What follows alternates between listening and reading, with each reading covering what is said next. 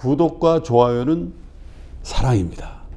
자, 키움증권에서 음식료 업종을 담당하고 있는 박상준 애널리스트가 나와 계십니다. 어서 오세요.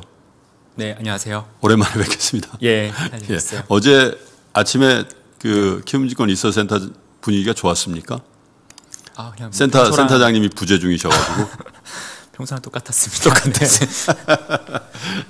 재밌게 예, 말씀하셔서 자 보고서를 에, 쓰셨 던데 네. 이게 뭐 언택트냐 컨택트냐 음식료에도 그런 시각들이 있나 봐요. 아무래도 이제 그 사람들이 밖에를 잘 못 나가니까요. 네, 집에서 이제 좀 많이 머무르게 되고 또 아이들도 학교에 못 가니까 가정에 있는 시간이 많다 보니까 네. 뭐 간식 소비도 늘고 이제 그래서 이제 음식료 업체들이 좀 실적이나 주가가 좀 어, 상반기 많이 좋았죠. 네. 좋았죠. 네. 그런데 이게 그 어떻게 됩니까? 코로나 19의 이 뭐 저 이 확진자 추이 이 로컬로만 보- 보면 우리 한국 상황만 보면 이게 확진자가 늘어나는 게 그래도 업황에 좋습니까? 아니면 반대입니까?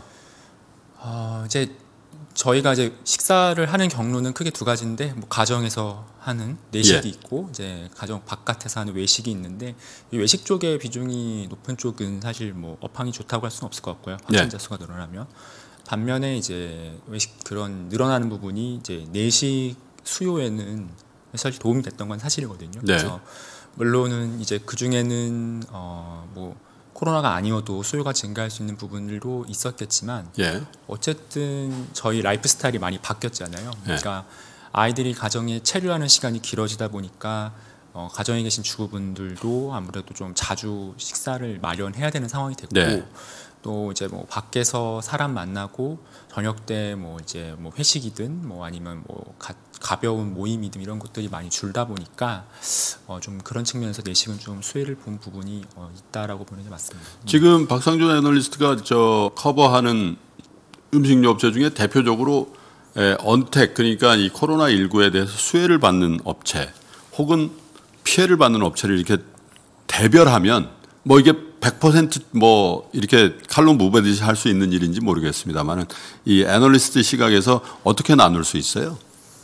그 소 업종별로 네. 보면요, 이제 가공식품, 그러니까 저희가 여기서 얘기하는 가공식품은 주로 이제 집에서 식사를 만들기 위한 어떤 식재의 기초가 되는 제품들을 만들거나 아니면은 이제 간편식을 어, 제조하는 뭐 예를 들면 제일제당이나 예. 대상, 어, 뭐 풀무원, 동원, F&B 뭐 이런 회사들인데 옷들이까지 이런 회사들 당연히 수요 좋았고요. 그다음에 좋고요. 예, 라면 업종도 이제 수요가 좋았죠. 좋고. 국내에서도 좋았고 수출도 많이 됐고 반면에 이제 외식 경로나 네. 어, 편의점 비중이 높은 이제 음료 그다음에 주류 그다음에 뭐 이제 식자재 유통 이런 쪽은 상대적으로 이제 수요가 좀 약했던 건 사실이에요. 예. 특히 이제 음료 같은 경우도 아무래도 이제 편의점에서 사람들이 이제 도심에 좀 유동 인구가 발생하고 그다음에 이제 어, 학교 학원가에 또 편의점들이 많이 들어가 예. 있거든요. 그래서 그런 쪽에서 좀 발생하는 수요들이 있어야 되는데 그 수요들이 약하다 보니까 이제 매출이 약했던 거고 주류는 이제 밖에서 어, 음주를 못 하시니까 가정에서는 이제 수요가 느는데 네. 어, 이제 안타까운 거는 어쨌든 밖에서 소비하는 게 전체 수요의 절반을 차지하기 때문에 또 이제 전체 시장 수요가 많이 아 주류를 이렇게 소주 맥주 뭐 이렇게 합산해서 보면 가정에 소비되는 게 반이고 네. 음식점이나 술집에서 그게 또 절반입니다. 뭐 이런 데서 회식이나 뭐 이렇게 그렇게 저녁 먹으면서 점심 먹으면서 하는 게 반 정도 돼요. 네, 네. 어, 가정에서도 술을 많이 드시네요. 생각보다. 저는 집에서 네. 그렇게 뭐 술을 그 즐기지 않으니까. 네, 그래서 아무래도 이제 그런 게 좀 수요에 많이 영향이 있었고요. 예. 그리고 이제 식자재 유통업체들은 사실 비즈니스 자체가 보통 이제 그 외식 프랜차이즈들한테 식재료 납품하는 게 일단 기본이고 예. 또 이제 단체 급식 사업을 보통 같이 그렇죠. 하거든요. 근데 이제 단체 급식이 뭐 이제 산업체 이런 거는 뭐 재택근무 할 때 영향이 있었을 거고 예. 병원은 또 이제 사람들이 병원에 잘 안 가려고 하니까 음. 아무래도 좀 그런 전염병을 옮을 거라는 약간 두려움 뭐 이런 것 때문인지 진짜 잘 모르겠는데 병원에 좀 안 가려고 하다 보니까 또 병원 쪽 수요도 안 좋았고 네. 또 이제 뭐 concession이라고 해서 저희가 이렇게 어 이제 여러 뭐 놀이공원이나 뭐 공항처럼 이렇게 사람이 잘 모일 만한 네. 집객이 될 만한 곳에도 이런 이제 식당을 열고 운영을 하거든요. 이제 그런 예. 쪽도 워낙 어 traffic이 안 좋았기 때문에 어 그런 데는 수요가 많이 안 좋았죠. 음. 네. 그러면 기본적으로 뭐 케이터링 업체라고 표현하나요? 대기업에도 네, 그런 업체. 그런 회사들이 있잖아요. 네, 뭐 네. 어떤 그 어떤 그 작업장이나 이런 거 그냥 하나 도급을 받아가지고 그 운영하고 네. 예, 식자재도 유통하고 그런 회사가 가장 타격을 받았겠군요. 네, 타격이 컸습니다. 그래서 그쪽 업계에서 어쨌든 제일 큰 회사는 어 이제 CJ 그룹의 이제 계열사인 어, 프레시웨이인데 프레시웨이 예, 매출이 뭐 10% 이상 빠졌어요. 2분, 10%. 예, 2분기 때 거의 10, 한 7%? 아니 그거밖에 안 빠져. 그 단체 급식 그, 그 정도도 더 많이 빠지지 않았을까? 어, 그래도 한국은 좀 영향이 덜한 네. 편이었던 것 같아요. 예. 한17% 빠졌고 미국의 시스코는 거의 미국의 시스코가 이제 미국에서 1등하는 식자 한국의 프레시웨이 같은 데인데. 그렇죠. 예. 거기는 제가 2분기 매출 제 기억에 40% 넘게 빠졌던 것 40%. 같아요. 네. 아, 한국이 좀 타격이 덜했습니다. 상장사 기준으로 프레시웨이 외에 그 어떤 회사들이 있죠? 단체 급식에 관련된? 어, 뭐 이제 신세계 푸드도 있고요. 예. 그다음에 현대 그린 푸드도 있고 그리고 이제 뭐 풀무원도 이제 저희가 일반적으로 뭐 두부나 뭐 김치 만두나. 아, 남 김치보다는 나물 뭐 만두 이런 예. 것들 뭐 이제 좀 생각을 하실 수 있는데 거기도 이제 자회사에 보면은 이제 뭐 푸드머스나 예. 그다음에 뭐 풀무원 푸드앤컬처 이런 회사들이 이제 식자재 유통 동원은 없습니까? 이런 거랑 관련됐고요. 어, 동원도 있죠. 예. 동원 F&B도 예. 자회사가 이제 동원 홈푸드라고 예. 해서 그 회사도 이제 어, 단체 급식 어, 비즈니스도 있고 그다음에 식자재 유통 비즈니스도 있어요. 음. 그래서 사실 뭐 동원 F&B 같은 경우는 이제 그쪽에서는 좀 이제 실적이 당연히 안 좋아졌겠죠. 그래서 네. 어, 그런 회사들 뭐 SPC도 뭐 이제 자회사 GFS, SPC 삼립의 자회사 GFS에서 이제 그런 비즈니스들을 하고요. 근데 이제 네. 어쨌든 저희가 주식을 주로 이제 볼 때는 그 회사의 본업을 좀 보잖아요. 근데 이제 특히 이제 뭐 프레시웨이나 이제 신세계 푸드, 뭐 현대그린 푸드 이런 회사들은 자기의 어떤 비즈니스에서 그 이제 식자재 유통이나 단체 급식과 관련된 그 사업의 매출 비중이 좀 높은 편이죠. 네. 네. 그래서 어, 영향을 좀 어, 받은 편이고요. 근데 특히 이제 그 CJ 프레시웨이가 영향이 컸던 거는 이제 외식 그 exposure가 좀 높다고 해야 될까요? 다른 회사 대비. 그러니까 뭐 현대그린푸드는 어쨌든 좀 산업체 쪽의 비중이 제가 봤을 때 좀 높은 편이거든요. 이제 그런 회사는 조금 영향이 덜했던 것 같고요. 네. 아무래도 이제 산업체는 그래도 이제 코로나가 뭐 있어도 있어도 어느 정도 좀 수요만 있으면 공장을 돌리려고 그렇죠. 하니까 그래서 그런 것들이 조금 업체별로 갈리게 한 요인이었던 것 음. 같습니다. 네. CJ 같은 경우는 직영을 하는 그 뭐 레스토랑 체인 같은 것들도 있잖아요. 뭐 IFC 네. 같은 데 가봐도 CJ 네네. 어떻게 보면 그 레스토랑 체인이 한- 하나의 mall을 형성하고 있다. 이렇게 할 정도로.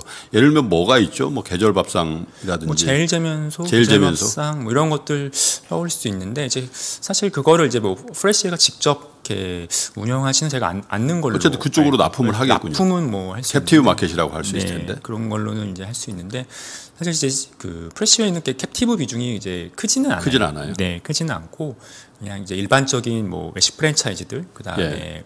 음식점 조금 작은 사이즈 레스토랑들 이제 그런 쪽으로 어, 많이 이제 납품을 아무래도 하죠. 네, 캡티브보다는. 네. 음. 그렇군요. 아마도 이제 우리 박상준 이제 저희가 좀 안 좋은 얘기부터 좀 먼저 하고요. 그러니까 그 영향을 좀 받았던 왜냐면 이제 그게 또 코로나 19가 또 전혀 이 양상을 달리하면 반등할 수도 있는 업체가 될 수 있으니까 많이 올랐던 수혜를 본 업체는 좀 이따 얘기를 하기로 하고 그렇게 이제 단체 급식 관련된 회사 말고 두 번째가 이제 편의점 부분 편의점에서 에, 간편식 같은 것들도 굉장히 많이 학생들 위주로 그렇잖아요. 네. 네. 그 맛이 있다 그래요. 저는 뭐 편의점에서 먹을 일이 많이 없는 편이긴 합니다만은 그런데 관련된 업체는 어떤 게가 있나요? 글쎄요 편의점에 이제 간편식을 납품한다. 예. 사실 이제 영향을 그- 받을 수 있는 업체들. 그 국내 그러니까 편의점의 간편식이라는 게 예. 이제 뭐 이렇게 흔히 말하는 fresh food 카테고리라고 해서 네. 뭐 이렇게 유음료나 이런 음료 그 옆에 이렇게 조금 선반에 이렇게 뭐 삼각김밥이나 뭐 샌드위치나 이런 예. 걸 이제 또 파는 데 있고 완전히 이제 뭐 상온 매대에서 예. 뭐 사실 컵라면도 간편식이잖아요. 뭐 그렇죠. 그런 것도 있고 뭐 햇반, 컵반 뭐 예.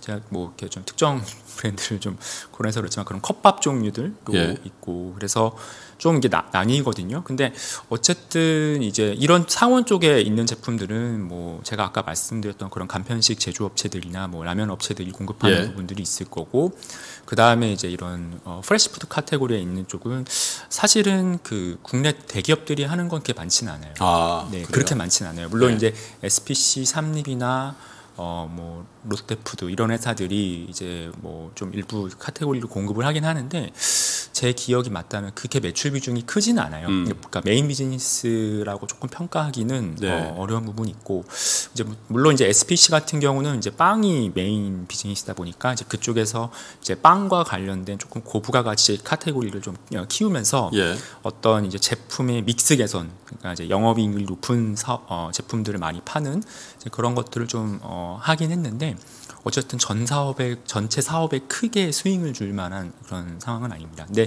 이제 편의점이 무- 음, 어, 음식료 업체한테 문제가 됐던 거는 이제 학교 학원가에 위치해 있는 점포들이 많고 실제 지금 편의점의 동일점 성장률, 그러니까 기존점 성장률이 안 좋은 이유는 그 학교와 학원가의 그 트래픽이 감소해서 매출이 네. 부진한 거거든요. 근데 그런 데서 이제 소비가 발생하지 않는 거예요. 그러니까 아이들이 뭐 아이들일 수도 있고 뭐 대학생일 수도 있고 한데 뭐 학교에 등교하고 하교하고 하면서 발생했던 그런 traffic들, 뭐 학원에 왔다 갔다 하면서 발생했던 traffic들이 사라지니까 예. 그러면서 이제 뭐 매일 유업이나 뭐 빙그레 이런 회사들이 뭐 이제 타격을 받았죠. 왜냐하면 수요가 약하니까 전보다 할인을 더 해줘야 되는 상황이 이제 어, 가동률을 맞추려면 그러니까 one plus one 이런 거. 그렇죠. 이제 그런 게 네. 많이 늘어나고 그래서 어, 또 성수기 때 한참 성수기 이제 2분기, 3분기 들어왔는데 또 그런 현상이 어, 벌어지다 보니까 더 힘들었고 음. 그래서 어, 이제 그런 부분들이 좀 매출에 편의점에서는 좀 피해를 어, 본 쪽이다라고 어, 보시면 될 것 같습니다. 코로나 19가 뭐 태- 통상 우리한테 타격을 줬던 게 2, 3월이잖아요. 2, 3월부터 네. 본격적으로 타격을 줬고 뭐 지금까지 뭐 소강 상태를 거쳐서 다시 좀 확진이 늘었다가 다시 조금 안정화되고 있는 추세인데 불안하죠 지금까지. 그 박상준 애널리스트가 식음료 담당 애널리스트로서 코로나 19 터진 이후에 주가 측면에서 가장 좋았던 식음료 업체가 어디입니까? 어, 뭐 이걸 이제 어떻게 잘라서 보느냐. 예. 그냥 절편으로 그냥 네. 2월 2월 이후에 어쨌든 뭐뭐 본업이 좋았을 네. 수도 있지만 어쨌든 그 시기라는 게 주가가 다 빠지기도 하고 뭐 그런데 돋보였던 주식들이 보이잖아요. 그 저점하고 비교해서 예. 그러니까 좀 생각을 해보면 예. 제일제당이 제일 어, 컸던 것 같아요. 제일제당. 좀 이제 캡이 있는 종목들 중에서는 어, 제일제당이 물론 이제 거기는 좀 뭐 이제 그때 당시 저희가 코로나 때문에 증시가 굉장히 흔들렸을 때 예. 어, 이제 회사가 이제 부채가 많다 보니까 이제 그런 거에 대한 좀 걱정까지 반영돼서 조금 주가가 더 많이. 과하게 많이 빠지는 예. 부분은 있어요. 그런데 어쨌든 제일제당이 이제 저점 대비로 보면은 제가 봤을 때는 제일 많이 오른 것 같고요. 그리고 그 다음이 뭐 이제 하이트젤로랑 농심, 하이트젤로. 네, 여기가 좀 많이 올랐는데 예. 사실은 하이트젤로는 이제 수요만 놓고 봤을 때는 피해거든요. 예. 네, 그러니까 매출이 뭐 올해 늘긴 했지만 저희가 더 늘 수도 있었던 건데 이제 그거만큼 가지 못했다라고 평가하는 게 정확할 것 같아요. 네. 근데 이제 경쟁사들이 더 상황이 어려워지면서 마케팅 비용을 줄이니까 이제 이익이 잘 나와서 주가가 갔던 거고 매출단은 좀 줄었습니까 그러면? 안 줄었어요. 하이트질로의 매출은 안 줄었어요. 그러니까 마켓 시어의 확장으로 커버를 한 거군요. 네, MS가 작년부터 계속 이렇게 올라왔고 예. 그 흐름이 이어졌기 때문에 그래서 이제 매출은 감소하지 않았고 거의 계속 10% 이상씩은 성장을 했고 예. 그리고 이제 농심 같은 경우는 그러니까 저희가 이제 지금 이번에 코로나 2차 확산이 왔을 때는 그런 식료품 사재기가 많이 발생하지는 않았는데 왜냐하면은 사람들이 이게 어떻게 흘러갈 거라는 예상이 좀 있으니까 예. 한번 겪어봤잖아요. 그래서 예상이 있다 보니 이제 그런 게 좀 없었는데 2, 3, 4월은 굉장히 강했거든요. 예. 굉장히 강해서 그때 당시 이제 매출이 많이 일어나다 보니까 또 주가가 많이 올라갔고 또 해외도 좀 잘 됐고요. 그래서 그 세 개 업체가 조금 이제 시총이 좀 있는 시가총액만 1조 원 정도 이상 되는 그런 기업 중에서는 좀 두드러졌던 종목이었던 그러니까 제일. 제당 그리고 하이트질로 농심 요 세개 농심. 종목이 많이 올랐습니다. 네. 자, 농심부터 좀 보면 사실 MS라는 측면에서 계속 좀 떨어지고 있었던 거 아니에요? 예를 들면 오뚜기라든지 뭐 이런 후발 업체들의 어떤 에, 메이저 그러니까 에, 어떻게 보면 뭐라고 표현해야 됩니까? 그냥 그 블록버스터라고 표현해야 되나요? 뭐 네. 신라면이 있으면 진라면이 있고 이렇게 해서 계속 시장을 침투당하는 그런 입장이었는데 뭐 상황의 변화가 좀 있습니까? 아니면 주가적인 측면에서 너무 많이 빠졌기 때문에 그냥 반등이 그 시점에 나와서 그런 건가요? 어, 그러니까 작년까지 되게 고전했다는 표현이 그렇죠. 맞을 것 같아요. 그러니까 점유율이 뭐 농심이 그래도 뭐 한 6, 7년 전만 해도 제 기억에 60% 정도였거든요. 근데 예. 이제 어느 순간 이제 55%, 54% 한때 정말 안 좋았을 때는 50%한 초반도 예. 잠시 이제 찍었던 기억이 있는데 어, 아무래도 이제 오뚜기가 굉장히 가격을 조금 어, 컴페러티브하게 그러니까 좀 할인을 많이 한 거죠. 예. 좀 쉽게 말하면 그런 것도 많았고 그 다음에 이제 삼양식품이 또 불닭볶음면이라는 카테고리를 가지고 내수에서 좀 그래도 파이가 좀 커진 부분도 아마 있을 거예요. 물론 그만큼 또 뭐 삼양라면이나 이런 건 조금 부진하긴 했지만 그래서 여러 가지 여건들이 좀 복합되면서 어, 점유율이 좀 좋지는 않았어요. 예. 그러다가 사실 연초에 올해 연초에 그 좀 재밌는 일들이 많았어요. 뭐 이제 일단 기생충에 뭐그 짭바구리라는 그 예, 아이템이 아니, 네. 소개가 돼서 그게 실제로 매출에 그렇게 영향을 줍니까? 한국에만 좋습니까? 많이 영향을 줬고요. 한국에만? 어, 해외에서는 사실 영향을 못 준 게, 예. 그러니까 사실 뭐 기생충이라는 그 굉장히 잘 된 영화에 소개가 될 정도면 예. 오스카 다관왕이었나요? 그 소개될 정도면은 사실 기대해볼 법했거든요. 음. 왜냐하면은 과거에 뭐 별에서 온 그대에서 어, 소개됐을 때도 신라면이 그때도 예. 중국에서 굉장히 매출이 좋았고 가수 싸이 씨가 광고했을 때도 예전에 이제 2012년 13년 이때쯤 싸이? 예. 네 그때 이제 강남 스타일이 한참 미국에서 붐을 일으켰을 때도 그런 이제 조금 트렌드를 잘 타면서 점유율이 많이 늘어났던 그런 예. 경험들이 있어요 매출이 많이 늘어났던 근데 이제 올해는 좀 운이 안 따라줬다 저는 생각을 하는 거는 그러니까 물론 이제 코로나 19 때문에 사재기가 발생해서 회사의 가동률은 더 올라가고 이익은 더 좋았을 수 있지만 어떻게 보면 점유율 측면에서 조금 운은 없었던 거 아닌가. 왜냐하면 이제 그런 마케팅들을 굉장히 잘 했고 예. 또 어, 연- 작년 말부터 어떤 유튜브 좀 그 채널들 어에 좀뭐 이제 소개가 좀 많이 됐었거든요. 네. 여러 가지 뭐 하기야 먹방의 상당 부분이 네, 라면 라면이더군요. 거론해도 되는지 모르겠는데 네. 그래서 그런 이제 어떤 뭐 채널들에 많이 이제 나오면서 예. 사실 화제가 좀 많이 됐어요. 예. 그래서 뭐 안성탕면 이런 것도 매출이 연초에 굉장히 많이 올랐었고. 음. 근데 그 화제성을 다 묻어버린 게 네.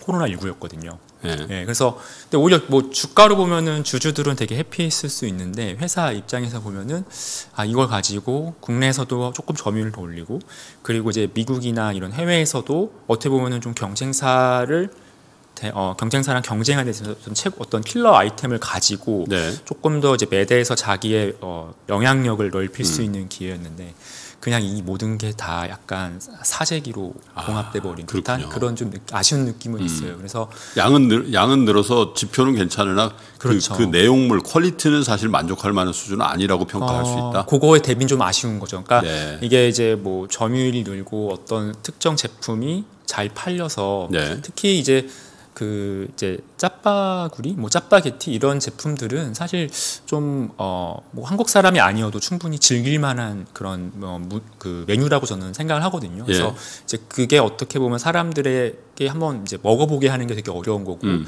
거기서 이제 입소문을 타서 점유율이 올라가면은 이제 그게 굉장히 커지는 건데 네. 왜냐하면 이제 농심이 생각보다 미국에 어, 많은 채널들에 들어가 있거든요. 뭐 어, 큰 채널들이 뭐 월마트, 그다음에 뭐 크로거, 코스코 뭐 이런 데 다 대부분 입점해 있고 어느 정도 자기 이제 영업망이 갖춰져 있는 상태이기 때문에 거기서 지금 신라면과 뭐그 육개장 같은 그볼 누들 숲이라는 제품이 있는데 그 두 제품 위주로 이제 그 어떻게 보면은 경쟁을 하다가 제 3의 제품이 붙어버렸을 때 그 폭발력은 굉장히 셀 수 있거든요. 네. 근데 이제 그런 거를 어, 어떻게 보면 조금 더 누려볼 수 있는, 그러니까 길게 아, 이제 만약 코로나 있는. 19가 아니었으면 네. 오프라인 쪽에서의 어떤 매출의 신장 같은 것들이 더 볼 수 있었는데 그렇죠. 완전히 이거는 이제 장기적으로 다른 그림이 벌어질 음. 수 있었는데, 어 이제 근데 이제 코로나 19가 일단 탁 터졌고 네. 매출을 이제 시장에 있는 수요를 확 땡겨오니까 매출하고 이익은 이제 굉장히 막 잘 나왔죠. 근데 잘 나왔는데 이제 시장에서 봤을 때는 그러면 음. 이게 이제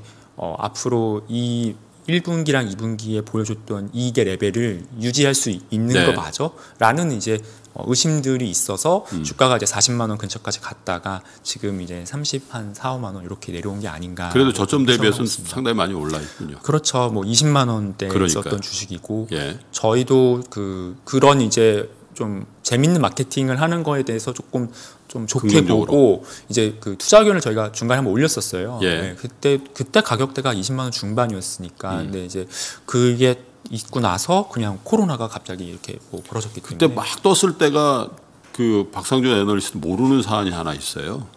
네? 어떤 농심에 대해서 어떤 것 때문에 그러실까요? 저희가 옥수수명 광고를 그때 했고. 아 어 근데 요즘에 광고를 안 하네. 자. 그르, 그러고요. 두 번째 업체 좀 볼거예요. 왜냐하면 이제 음식료는 사실은 그 메이저 업체들의 어떤 그 얘기를 좀 디테일하게 보면 그, 그 관련된 산업의 동향을 우리가 알 수 있어서 하이트 진로가 시동을 건 건 작년부터죠, 사실은. 네, 작년부터. 예, 마켓 셰어를 확장하는. 네. 근데 이제 맥주 시장에서의 그 베스트셀러가 나온 거죠. 그렇죠. 예. 네. 테라. 테라라는. 그리고 어차피 뭐 소주 시장에는 절대 강자였는데 네. 이게 전체 그, 그 주류 판매가 는 효과보다는 마켓 셰어를 잠식한 그 효과가 훨씬 크다고 봐야죠. 그렇죠. 주류는 매출은 시장 수요는 감소했습니다. 감소하죠. 예. 예. 외식 수요가 평균 제가 봤을 때 10% 내외는 감소했거든요. 예.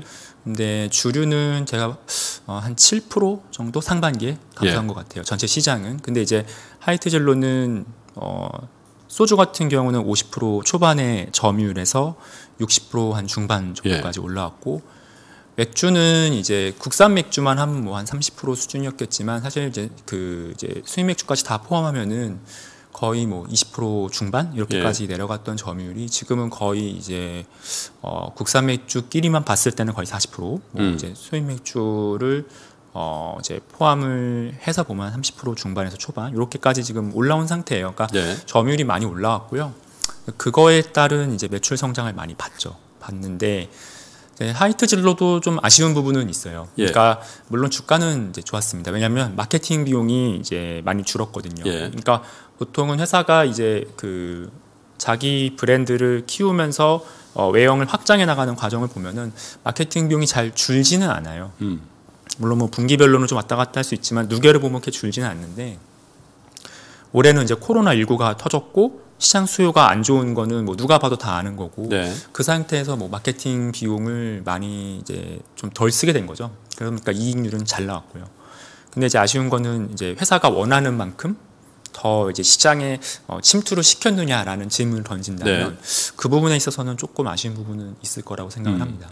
그 상대방 그 경쟁 업체라는 게 소주로 치면 처음처럼이고요.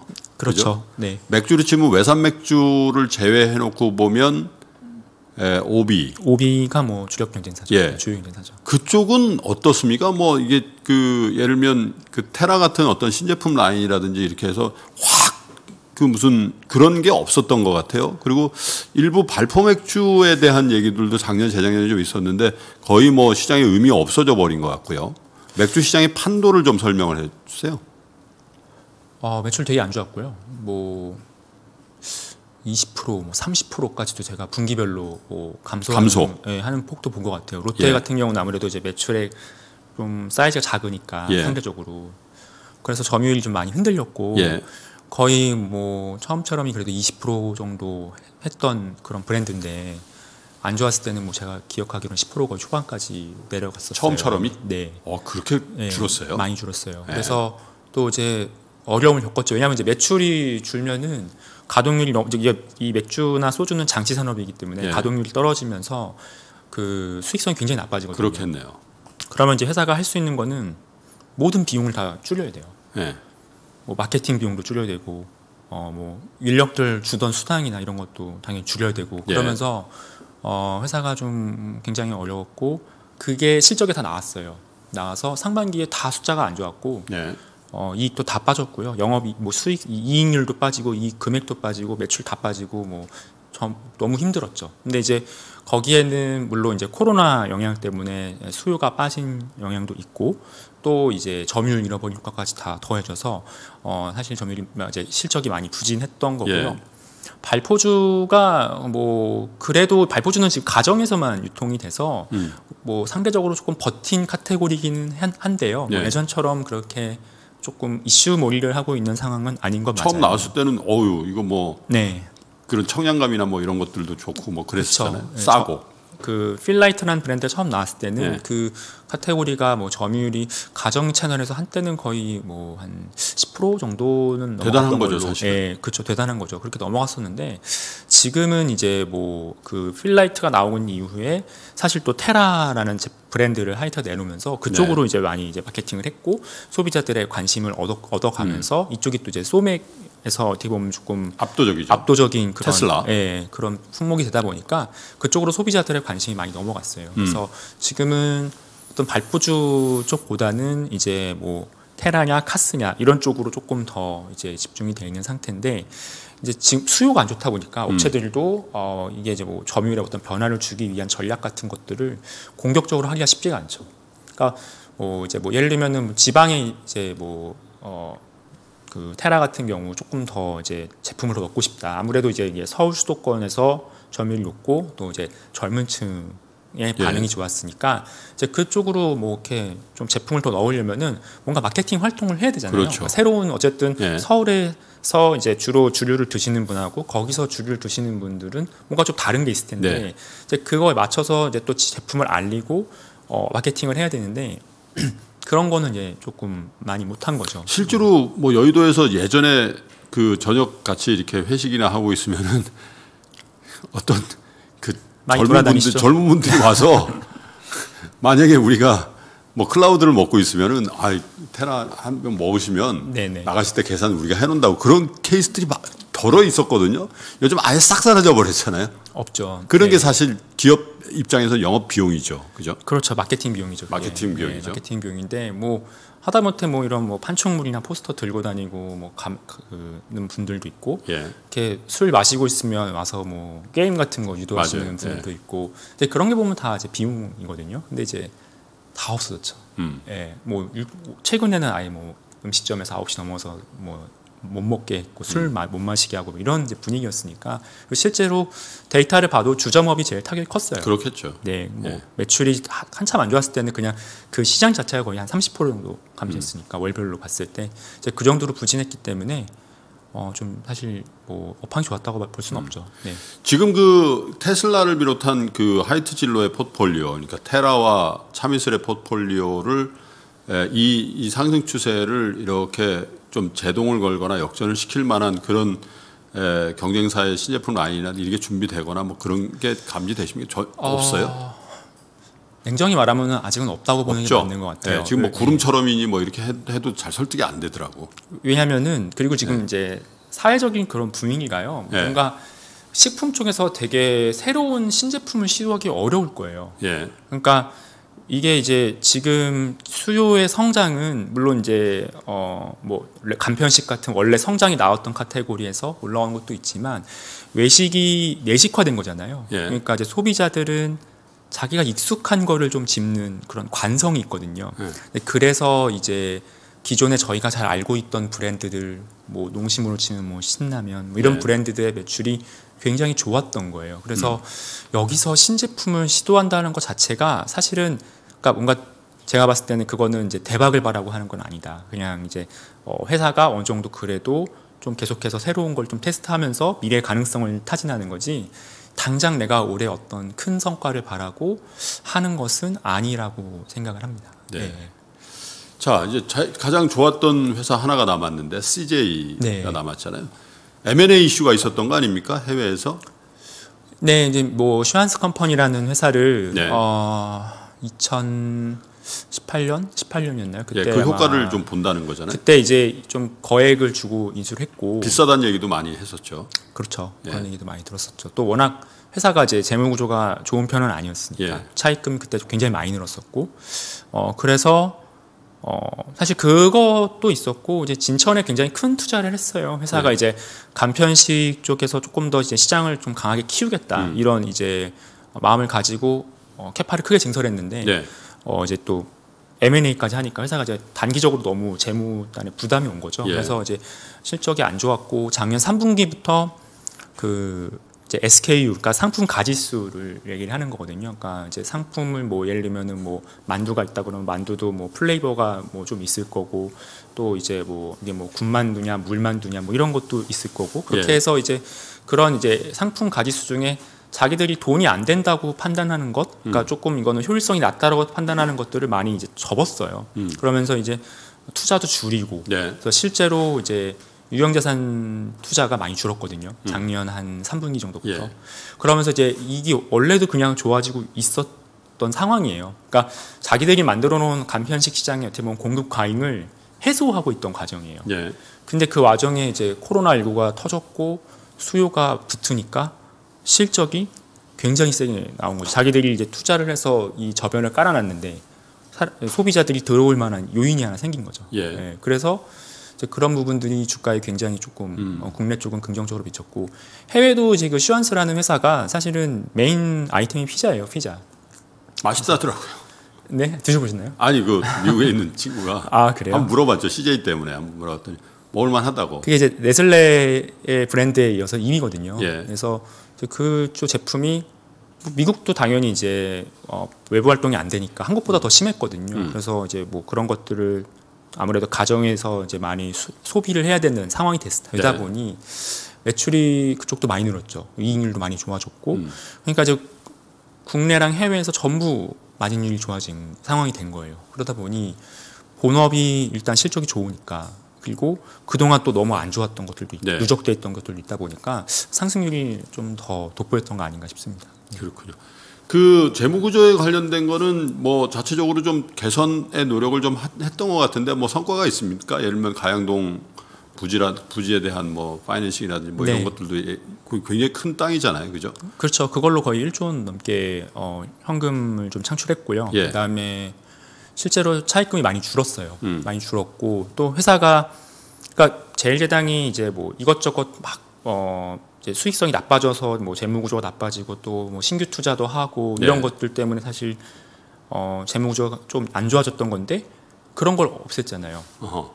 원래부터 신규 투자가 많았던 회사거든요. 그러니까 음. 굳이 어떤 회사를 사지 않더라도 기본적으로 자기가 외형을 확장하겠다고 네. 공장을 어, 늘리고 증설하고 이런 것들을 많이 했어요. 그러니까 미국이나 중국에도 해외 이런 에도 만두를 글로벌화 시키겠다는 그런 목표 하에 공장을 많이 증설했거든요. 예. 근데 그런 것들이 올해 다 돌아온 거예요. 그러니까 음.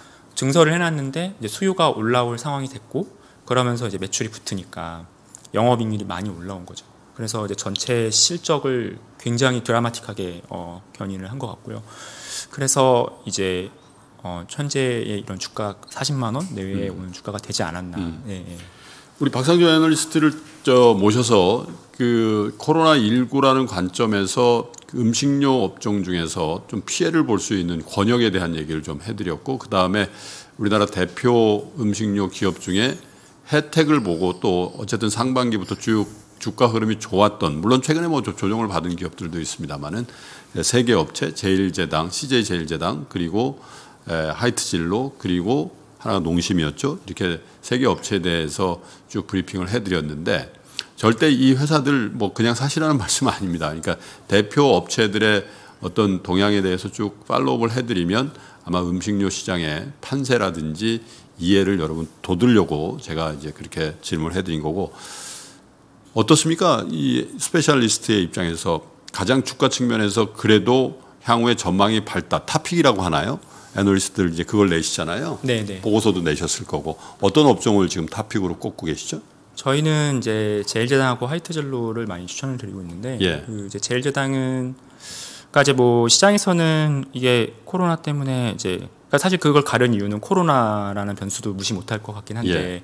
코로나 때문에 좋아진 게 다냐 아니냐 예. 그리고 어 이게 이제 어쨌든 이 언택트 국면이 완화되고 음. 저희가 이제 조금 과거 이제 좀 더 정상적인 그런 삶 라이프 스타일로 돌아갔을 때도 이 회사들의 실적이 이제 잘 나올 수 있는 동력이 있느냐 음. 이제 그런 거 봤을 때 어, 그래도 저는 이제 제일제당이나 하이트진로가 그런 측면에서 조금 더 점수를 받을 수 있지 않을까 네. 생각을 해요. 그러니까 뭐 하이트진로는 사실 너무 심플하고요. 이제 외식 수요가 올라온다면 당연히 주류 수요는 좋아질 수 있는 그렇겠네요. 거고 주류 업체로서 나쁠 건 없다고 생각을 하거든요. 네. 그래서 이제 그런 부분이 가장 이제 큰 포인트고 또 그 큰 포인트를 기다리면서 점유율은 계속 올라가고 있으니까 예. 이제 그런 게 좋은 거고 제일제당은 일단은 사실 주력 제품의 매출에 대해서는 사실은 아마 contact 국면, 그러니까 저희가 조금 정상적인 라이프 스타일로 돌아간다면 일부 매출이 감소하는 품목들도 분명히 있을 거예요. 근데 이제 간편식 쪽에서 어, 올라온 제품들은 어, 저는 이제 lock-in이 될 수 가능성이 높다고 봐요. 그러니까 네. 이거는 워낙 이제 시장의 어떤 침투해 있는 정도 자체가 낮은 품목들이었고 거기서 이번 코로나 사태로 소비자들의 선택을 받으면서 신규 소비층들이 많이 이제 유입이 됐거든요. 그래서 이제 그런 효과들이 어쨌 어, 향후에 이제 매출과 이 계속 기여하면은 좋아지는 부분이 있고 또 회사가 전반적으로 간편식 시장에 있던 공급 과잉들을 많이 해소하고 어, 수요와 공급의 어느 정도 밸런스가 맞아지면서 영업 이익률이 올라온 부분도 있을 거고요. 그리고 해외 쪽에서는 이제 비비고 만두를 필두로 계속 미국이나 중국 중심으로 시장 개척을 하고 있기 네. 때문에 그게 이제 좀 포텐셜이 있다 보고 있고 그리고 이제 이 회사가 이제 하고 있는 사업 중에 어, 외식 경기가 좋아지면 또 좋은 부분들은 어, 바이오 사업의 이제 핵산 같은 경우는 음. 이제 외식 경기가 좋아지면은 어, 수혜를 볼 수 있어요. 네. 이제 조미료의 소재인데 예. 주로 이제 중국에서 매출이 일어나거든요. 근데 중국 같은 경우는 조미료의 유통 경로 자체가 주로 레스토랑 위주이기 때문에 한 70% 정도 외식을 워낙 많이 하니까. 네, 외식을 많이 하는 문화고요. 그래서 이제 그쪽에 수요가 회복이 되면은 지금 핵산이 사실 회사가 증설을 해놨는데 수요가 약해서 원하는 성과를 못 얻었어요 음. 상반기 때. 근데 이제 그런 것들이 어, 올라올 수 있을 거고.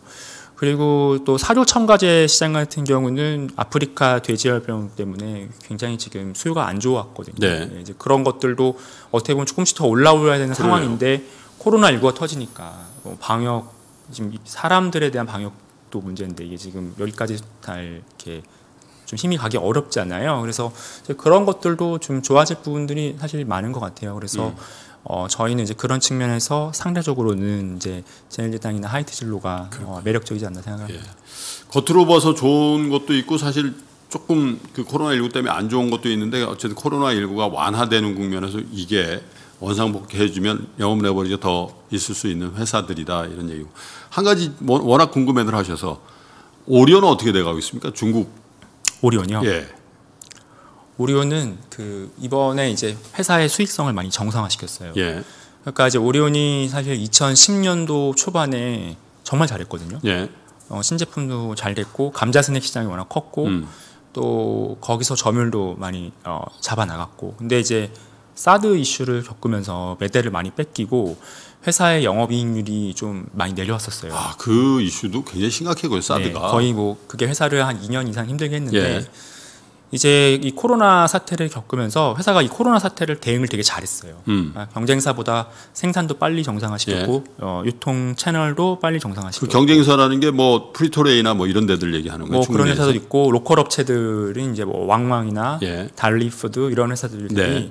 어, 정상화를 빨리 시켜서 영업이익률이 이제 거의 뭐 10% 중반 이상은 무난하게 지금 어, 매분기 나오는 상황이 음. 됐습니다. 그래서 회사가 이제부터는 아마 조금 더 적극적으로 매출 확대를 위한 전략을 펼칠 거예요. 네. 그래서 이제 뭐이 측면에서는 뭐 성장률이 좀 매출 성장률하고 비슷하거나 뭐 조금 약간 하회할 수도 있는데 앞으로는 이제 회사가 점유율이 많이 늘리기 위한 전략들이 많이 나올 겁니다. 그래서 그런 것들이 시간을 가지고 효과를 발휘하면 어, 회사의 주가에 굉장히 긍정적으로 작용할 것 음, 같아요. 네. 그렇군요. 중국에서 그 어려운 시간을 잘 버텼고 코로나에 대한 대응력이라는 측면에서 비교적 좋은 네. 퍼포먼스를 내고 있는 오리온에 대해서도 결코 나쁘지 않은 그런 view를 박상준 애널리스트 갖고 계신 것 같네요. 사실은 이제 우리 생활 주변에 에, 있는 업종이잖아요. 안 먹고 어떻게 살겠습니까, 여러분? 그래서 이 식료품 업종에 대해서는 저는 여러분께 이런 조언을 좀 드립니다. 평상시에도 그런 얘기를 많이 하는데 투자를 처음 시작할 때 물론 그게 식료품 업종이 좋은 시점일 수도 있고 안 좋은 시점일 수도 있는데 여러분들이 초심자로서 가장 그래도 전문가와의 갭을 줄이면서 스타트를 할 수 있는 업종 하나만 꼽으라면 저는 음식료를 꼽거든요. 왜냐하면 반도체다, 수소다, 그리고 뭐, 예, 무슨, 무슨 나노 뭐 이렇게, 이- 이런 거 어떻게 여러분들이, 여러분들을 뭐, 이, 저, 그 존중하지 않아서가 아니라 사실 어렵잖아요. 그런데 매일 보시는 여, 여, 여 성분들 뭐 주부분들도 그렇고 뭐, 예, 어, 이거 매대에 가보면, 어유, 이건 왜 이렇게 세일을 안 해? 어, 이건 왜 이렇게 솔드 아웃이 많아? 이건 맨날 왜 바이온 개론풀이야? 이런 것들에 대해서 여러분 가장 민감하게 여러분 반응하시잖아요. 그리고 여러분들 자녀분들이 예, 제가 그런 얘기도 했거든요 예전에 메로나와 메론바의 엄청난 맛의 차이와 촉감의 차이를 여러분 자녀분들이 잘 알잖아요. 그래서 그런 투자의 아이디어는 처음 시작하는 분 입장에선 음식료가 가장 어떻게 보면 진입하기에 좋은 그리고 경쟁력이 있는 업종이 아닌가 싶어서 조목조목 여쭤봤는데 더 많은 질문 좀 해드리고 싶은데 또 우리 염수환 차장이 기다리고 있어서 박상준 애널리스트와의 문답은 이 정도까지만 하겠다. 뭐 다음 시간에 또 에, 자리를 만들 수 있도록 그렇게 하겠습니다. 박상준 애널리스트 고맙습니다. 아유, 네, 감사합니다. 예.